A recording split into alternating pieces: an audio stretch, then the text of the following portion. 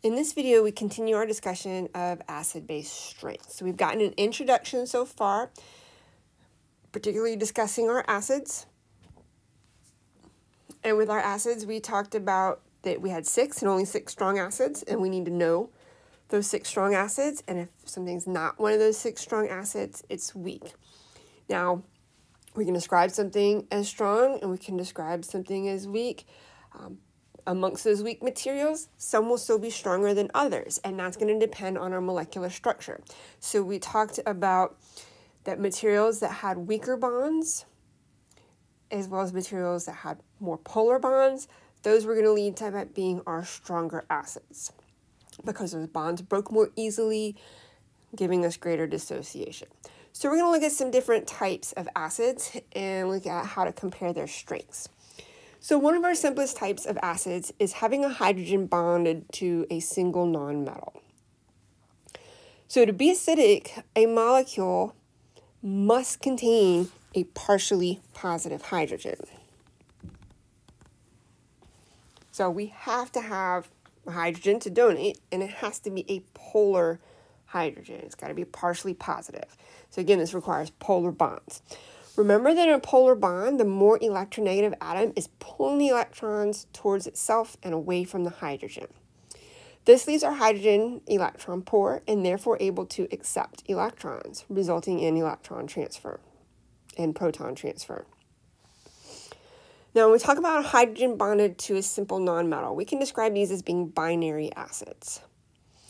In terms of our binary acids, the strength depends on the bond strength.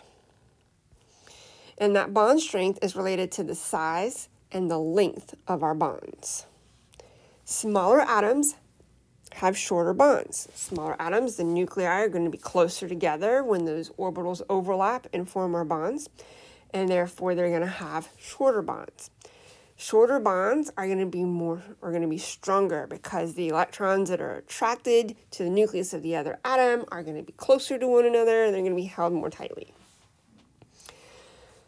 So shorter bonds are stronger bonds. Now, in order to judge acid strength with our binary acids, we've got to look at bond strength, which is connected to atom size. And so looking at atom size, we've got to go back to our periodic trends. Remember the periodic trend for atomic radii is that as we go down a group, the atom size increases. As the atom gets larger, the bond length gets larger, and therefore the strength decreases. So we can take a look at an example of comparing some binary acids. We've got HF, HCl, HBr, HI. Again, they're binary because they contain two atoms, hydrogen bonded to one other nonmetal. Now, if we look at these,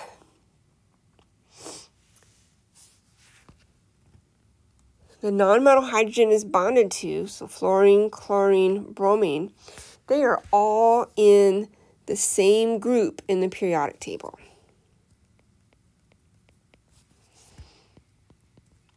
With fluorine starting at the top.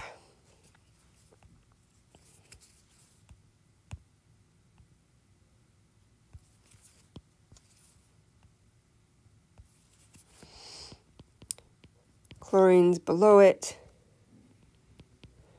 then bromine, and then our HI.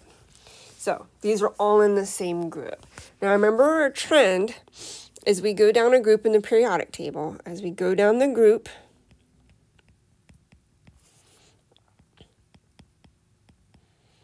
atom size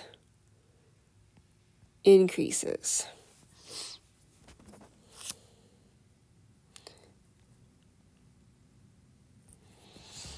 So my fluorine is going to be the smallest atom. My iodide will be the largest. We said smaller atoms were going to have shorter bond lengths.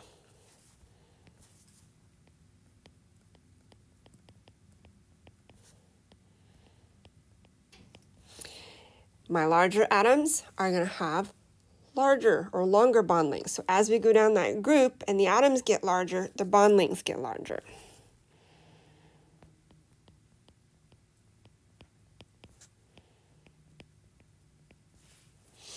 And so we said that in terms of bond lengths, that shorter bonds are going to be stronger bonds.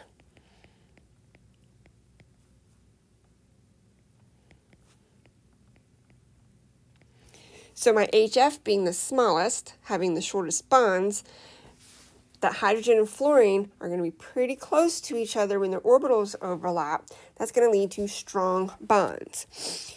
As the atoms get larger, the bond lengths increase, the nuclei and electrons get further apart, the bonds weaken. So the HI will have the weakest bonds.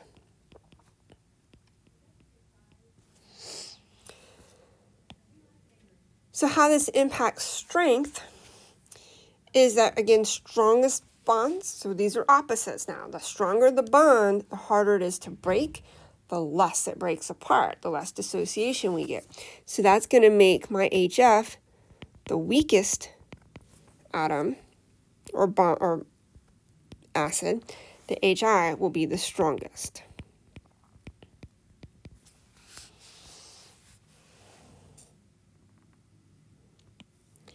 So in ranking these, HF is the weakest, HCl is stronger than HF, HBr is stronger than HCl, and HI is stronger than the HBr. Now, these three are all in our list of six strong acids. So they all completely dissociate. Some might be a little bit easier than others, but they all completely dissociate. HF is considered a weak acid. And it's weak, even though it's a very polar bond, it's weak because of that very, very short bond length. And that very, very short bond length leads to strong bonds, even though these are very polar bonds.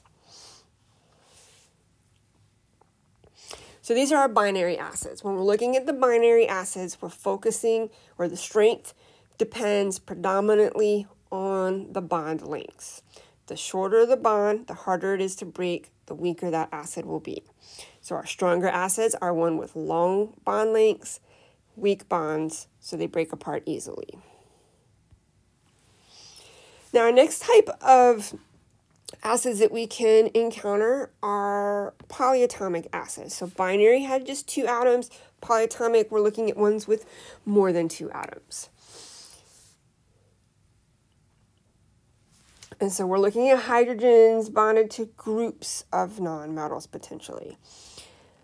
Different nonmetals will have different electronegativities. The greater the electronegativity of the nonmetal, the more polar the bond will be. The more polar the bond, the stronger the acid.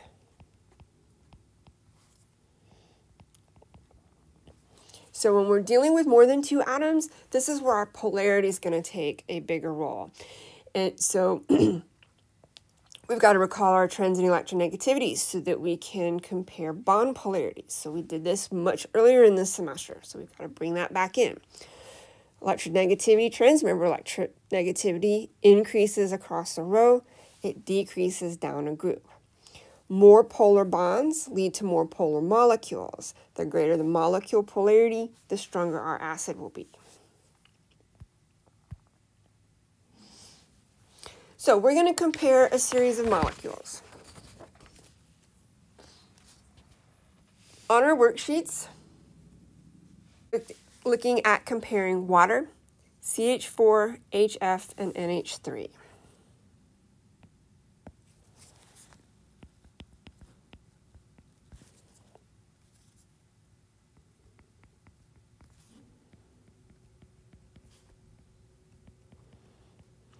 For each of these molecules, we're asked to first of all draw our dot structure, identify if our bonds are polar or any of our dipoles, and identify if we have an acidic hydrogen. So we'll go ahead and draw our dot structures.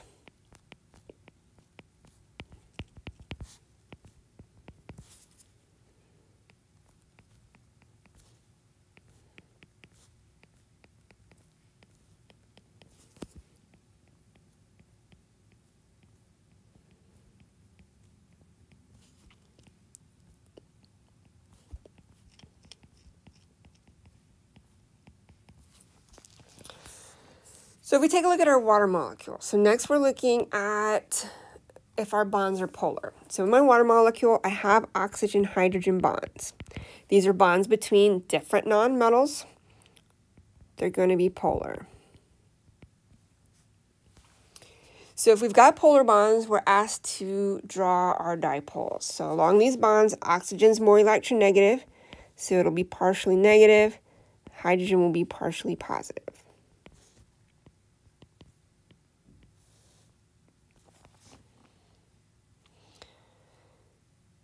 So looking at this, I have partially positive hydrogens. If I have partially positive hydrogens, then I have acidic hydrogens.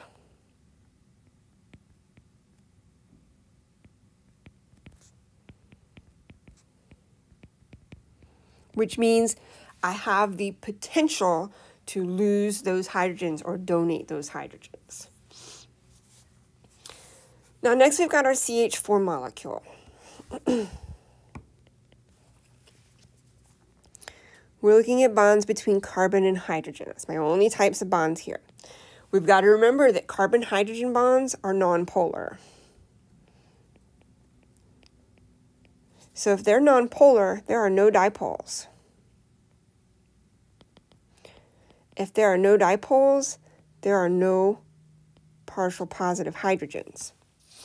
If I don't have any partial hydrogens, then there are no acidic hydrogens.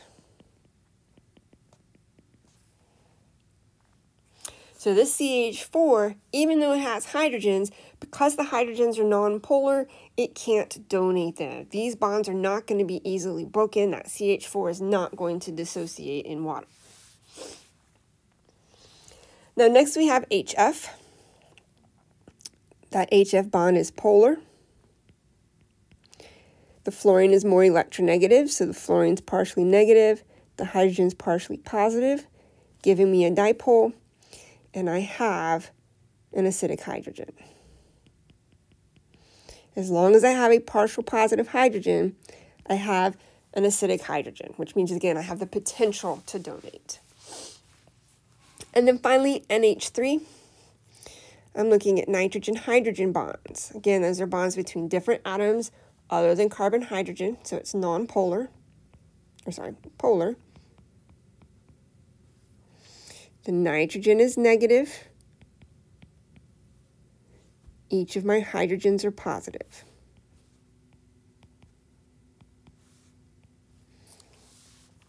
So I have three partially positive hydrogens. This is, or has, acidic hydrogens. So I've got four molecules here. Three of these molecules have partially positive hydrogens that have the potential to donate hydrogens. Now, next we want to look at comparing these molecules and identify which of them would be stronger acids. So which ones are more likely to be able to donate hydrogens than the others. And so three of them have polar bonds. And the strength of the acid depends on the bond polarity.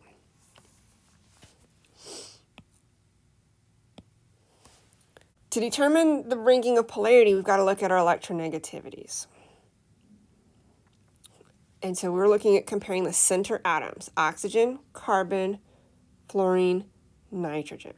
If we rank those, carbon is the least electronegative.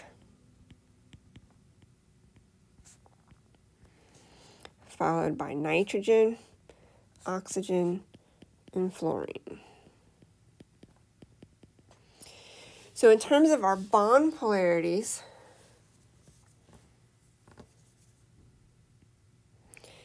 that means that the carbon-hydrogen bond, which we already know is nonpolar, is going to be my least polar, followed by nitrogen-hydrogen, oxygen-hydrogen, and the fluorine-hydrogen.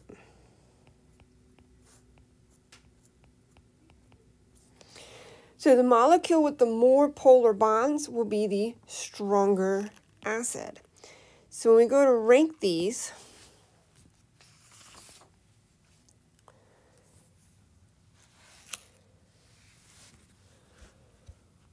my nonpolar molecule that has no acidic hydrogens is going to be my least acidic. It is non-acidic.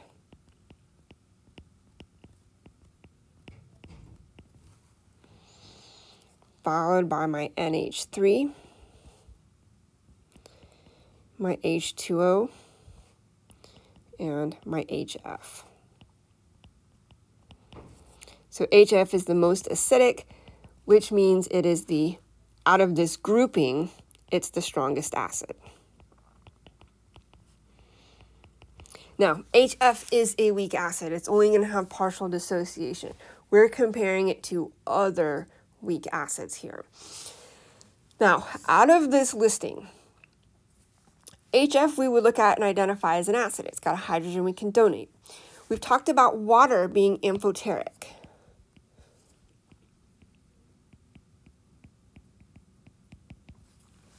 Water can behave as both an acid and a base because it's got the lone pairs of electrons that we can use to accept hydrogens, and we have acidic hydrogens that we can donate. Now in this listing here, we also said that the ammonia has acidic hydrogens. But most of the time when we talk about ammonia, we talk about it being a base, and that's typically because we're talking about its behavior in water. Now, we said before with strength, it's all about competition. If I'm looking at comparing NH3 and water, NH3 is a weaker acid than water.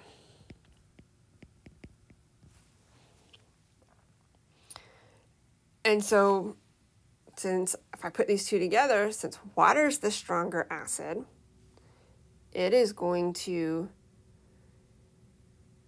be able to donate the hydrogens better than the ammonia does. That's why when we talk about ammonia, even though it has acidic hydrogens, we don't talk about it being acidic because we're talking about typically the interaction in water and it's a weaker acid than the water is, and therefore it's not going to be the acid in that scenario. So we've talked about binary acids, we've talked about polyatomic molecules. The final type of acid that we can encounter are our oxo acids, or sometimes they're referred to as oxyacids.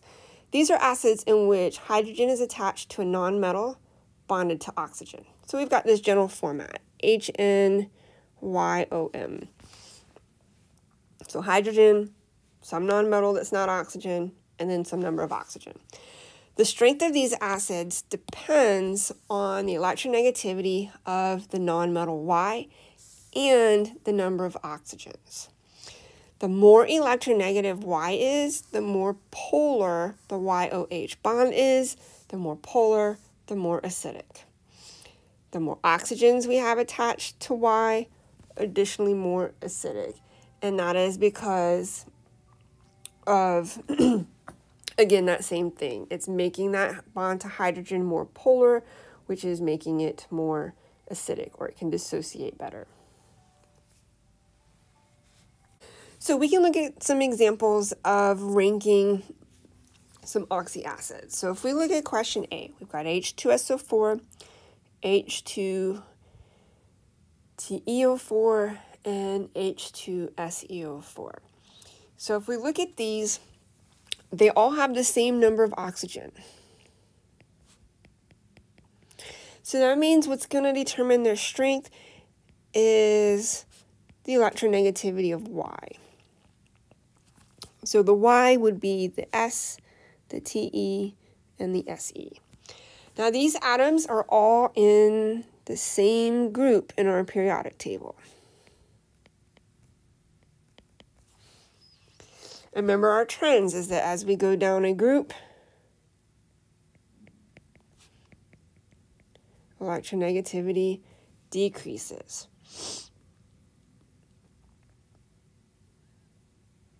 So in terms of our electronegativity, the least electronegative is going to be my TE, then my SE, and then my S. So we said in terms of strength, the greater the electronegativity on the Y, the stronger the acid. So when we rate these acids,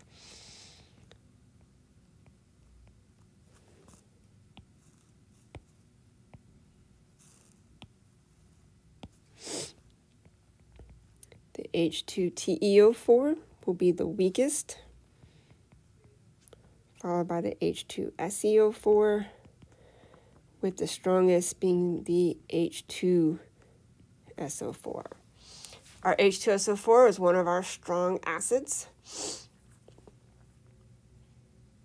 And so hopefully we would recognize that as being our strong acid.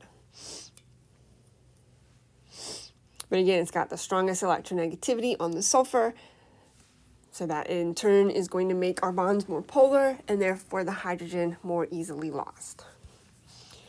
Now if we look at part B, we've got HClO4, HClO2, HClO, and HClO3. They all have the same Y. So what we're going to look at here is the number of oxygen. We said that as the number of oxygens increases, the strength increases. So the least oxygen, the HClO, will be my weakest acid. And then as we add more oxygen, the strength increases.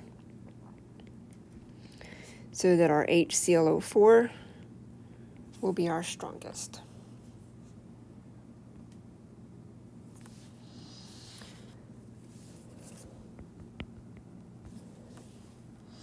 So if we take a look at our final problem, we're asked to arrange each of the following in order of increasing acid strength and to explain our reasoning. So if we look at A, we've got HCl, H2S, PH3. So we're looking at comparing um, some polyatomic, with the exception of the HCl, but some polyatomic atoms. And we said in those cases, it depends on polarity. So we're going to rank these based on polarity.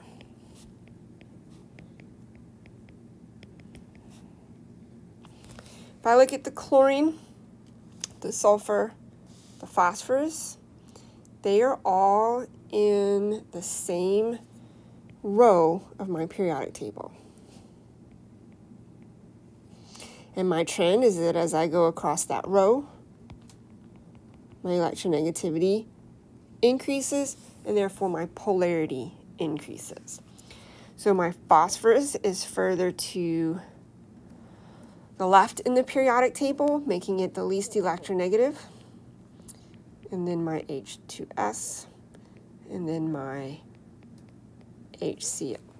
So the chlorine is the most electronegative out of these, so it's going to have the more polar bond, which will be more easily broken. Next, we've got NH3, PH3, and AsH3. So again, we're dealing with some polyatomic molecules. We're going to look again at ranking based on polarity. Looking at comparing the nitrogen, phosphorus, and arsenic. These are all in the same group. So our trend as we go down the group, electronegativity decreases. So the bottom of my group is the AS. So it's going to be the least electronegative and therefore the weakest acid. Then we have our PH3 and then we have our NH3. And then finally C, we've got HBrO, HBrO3, and HBrO4. Here we're dealing with those oxo acids. So with the oxo acids, we're looking at Y or we're looking at the number of oxygen or a combination of both. These all have the same Y, so it just depends on the oxygen. As my oxygen increases, my strength increases. So the HBrO is the weakest. The HBrO4 is the strongest. So, so far we've been talking about acid strengths. We had six and only six strong acids. All others are weak. If we have a partial positive hydrogen, we have the potential to be an acid. Whether it behaves as an acid is going to depend on what it's interacting with and who's stronger. And so again, we can judge that strength by looking at polarities and bond strengths. Now, in our next video, we're going to take a look at bases and ranking base strength.